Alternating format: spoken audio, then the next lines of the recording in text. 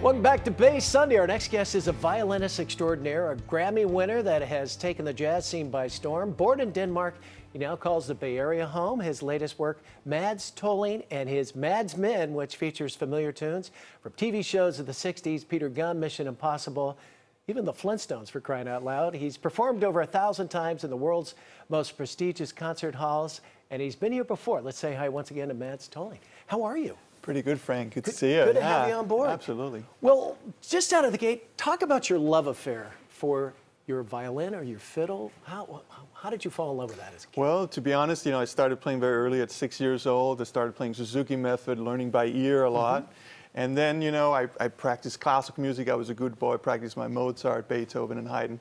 But then at one point, I kind of got attracted to the dark side.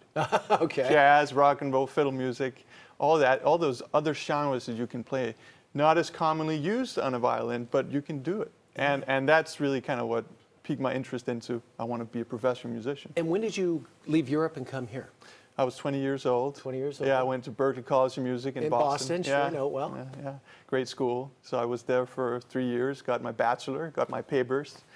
And then I moved right out here. I joined a group called Turtle Island Quartet, which uh, is a wonderful string quartet. We won a couple of Grammys. Things were good, played with Stanley Clarke, and now I'm kind of doing all these other groups that I, I started. And sky's the limit. What motivates you? What, what gets you up in the morning? Well, I think playing good music, you know, doing some tunes that people might know, but not the way we do it. You know, creating new versions right. of things that people thought, oh, that's a violin, that's going to sound that way. No, actually, it's a little different. Well, that's what's so neat about music. I mean, you can play a song, but every time it's a little bit different, right? Right. Different audience, different venue. You're probably in a different mood sometimes. Sometimes right. it's hard or fast. So every day is a little bit different, I bet, right? Absolutely. You always feed off your surroundings, your co-musicians. It's like a dialogue. And, and not just a dialogue between on stage, but also with the audience. Okay, well, your Yoshi's in Oakland a week from tonight on the 24th. And uh, your Mads Men, tell us about that. You were inspired, you grew up in Denmark for crying out loud, but you know a lot of the American 60s music and, uh, right. and TV themes and movie themes. That's right. I mean, we watched the Flintstones, and I loved that show when I was a kid.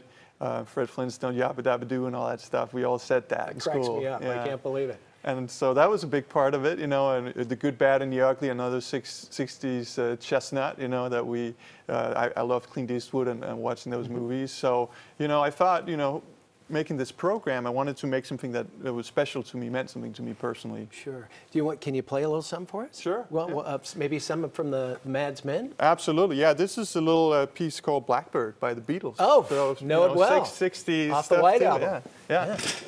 Here we go. Yeah. Mads Tolling with a little uh, little Blackbird. Exactly.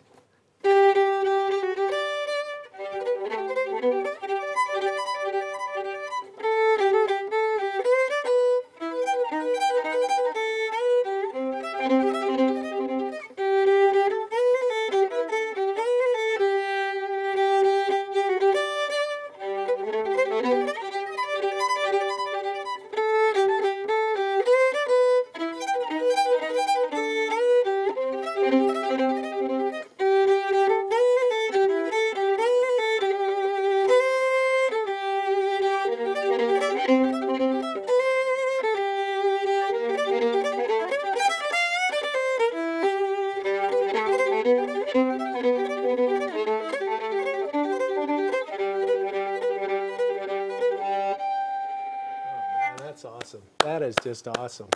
And that's just a little tidbit of what people can get at Yoshi's. You're down exactly. in Santa Cruz uh, shortly after that. And that's then, right. then you're all over Europe, I guess, right? All over Europe. We're playing 36 shows and in 36 different cities. It's going to be really kind of wild, you know, to drive around in Sweden, Norway, Denmark, Germany. What's it like to play at home?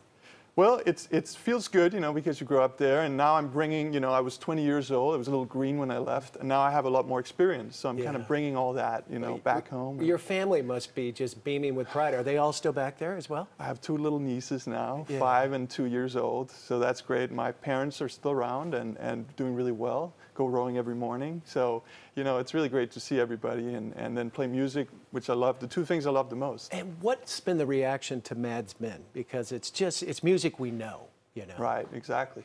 Yeah, and that's really what people come away with saying, wow, that's like walking down memory lane, you know, a little bit of nostalgia. But the interesting part is, of course, people who are 50, 60 years old will, or 70 even, you know, will have a, a reaction to it. But even people who are 16, they oh, go yeah, like, it's oh, just, it's I just, just saw Mission Impossible last week, Yeah. right? Or I saw, you know, the Pink Panther, I love that tune. Sure. So the, the, the point is, it's timeless music, you know, it's just really great songs, and they exist in any era to me. But we've chosen, you know, the 60s Madman era.